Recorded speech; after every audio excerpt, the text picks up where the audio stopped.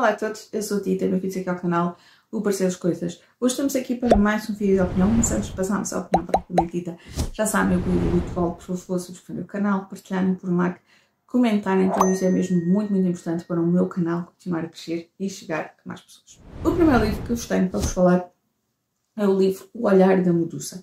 Ah, eu já li um livro no início deste ano, também relacionado aqui com o mito da Medusa, portanto, e aqui com algumas expectativas, porque eu adorei o outro livro. Foi um livro muito pequeno, mas que mexeu aqui muito comigo. E, portanto, ia aqui com algumas expectativas com este livro, porque a partir da história teria aqui muitas semelhanças, não é? Porque estamos a falar uh, de um reconto, mas um reconto do mesmo mito. No entanto, aqui a parte da Medusa, confesso que neste livro a história é diferente. Se no outro tínhamos uma Medusa que era humana, ela e a família, os pais e, o, e as irmãs, e que depois ela então tem sido violada por Poseidon, não sei se é assim que se diz, foi então amaldiçoada pela Atena, acho que é Atena que é hum, a deusa da guerra. A moça é que é violada, mas é, é, acaba por também ser amaldiçoada, portanto, deuses. E portanto, nessa história depois é, ela é amaldiçoada e é ela que uh, depois as irmãs também se transformam por causa do, do contacto que têm com, com a Medusa. Neste caso, não. Neste caso, hum, elas já são. A Medusa é mortal, sim, mas é irmã então das, das Gorgondonas. Eu não sei como é que. Eu estou a dizer mal o nome, certamente. Aquela figura mitológica que as irmãs já são, as irmãs são imortal, uh, mas ela é mortal, mas que então uh, é com elas. E logo aí foi a primeira diferença.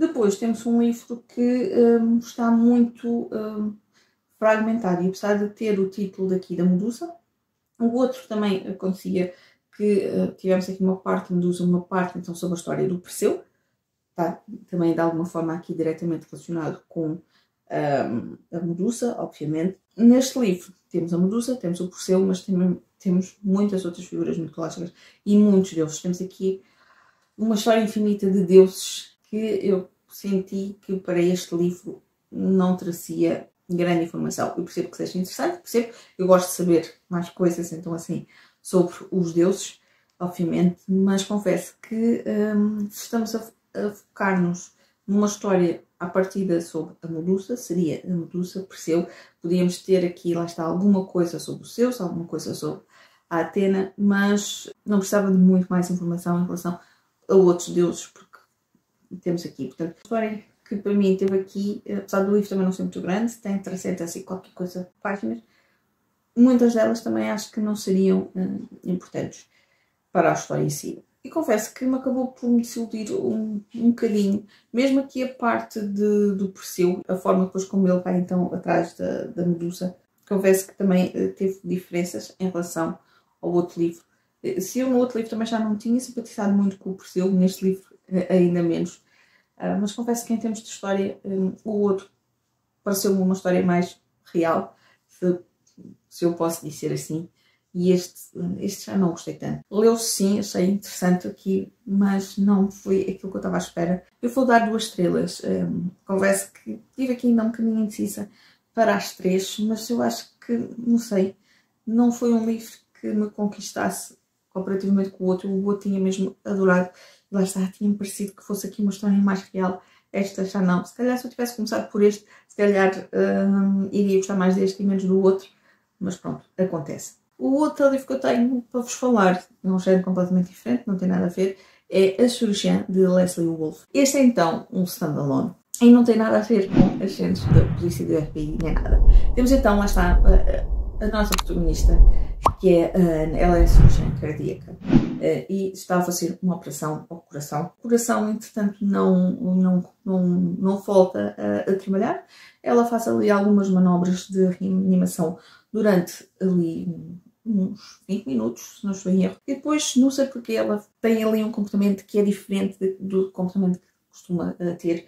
Por algum motivo, ela olha para a cara do paciente, para trás do lençol, e percebe-se que reconhece aquela cara e que suspende então a, reanimação e, diz, e declara a morte do paciente. E nós temos este clima tenso aqui a tentar perceber quem era então aquele paciente que, que ela conhecia, como é que ele conhecia, quem era, uh, e porque então o que é que ela, o que é que esse paciente fez para ela ter que, uh, para ela sentir esta necessidade de não continuar a reanimar e garantir que ele está morto. Temos depois também aqui outra personagem que é Procuradora-Geral. E, portanto, nós vamos intercalando uh, a narrativa, ora com capítulos da Anne, ora então capítulos da Procuradora, que é a Paula. O início da história agarrou muito, fiquei muito curiosa aqui a tentar perceber quem era então este paciente que morreu, qual era o impacto que teve aqui na vida da Anne, para ela estar com esse comportamento.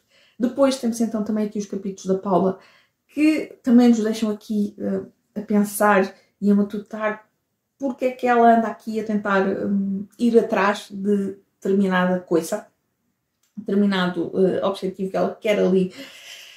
Uh, eu não sei, eu estou a tentar não revelar muito, porque eu não sei muito bem o que é que a sinopse diz e, portanto, estou aqui um bocadinho indecisa no que é que é dizer, o que é que é não diz. Mas, entretanto, pelo meio, eu senti às vezes que a história se arrastava um bocadinho. O livro não é muito grande, não. O livro também tem, se não estou a errar, cerca das 300 e qualquer coisa. Mas senti que, por um momento ou outro, a história podia ser um bocadinho mais uh, abreviada.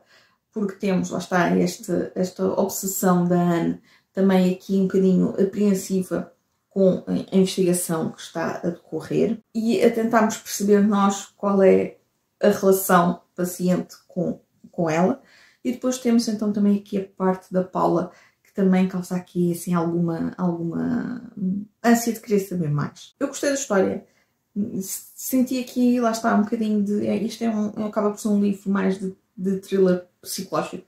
Tem aqui o, o seu quê de, de, deste, deste agastamento psicológico que tentámos perceber. No entanto, não foi um livro que me enchesse uh, as medidas. Eu vou dar uh, quatro estrelas, porque foi lá está. Eu, eu, eu tinha ânsias de saber o que é que qual era a ligação com a Ana, qual era também aqui as motivações da Paula.